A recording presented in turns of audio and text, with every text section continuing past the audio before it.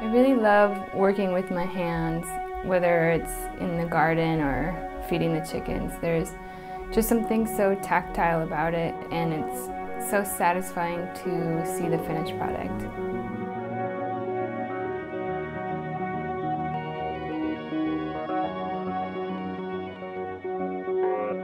The sorting is actually always separate from the actual making of the jewelry. I can spend hours with a pile of sea glass. From harvesting the glass on the beach to sorting it to the design and soldering process. Each step requires my full attention.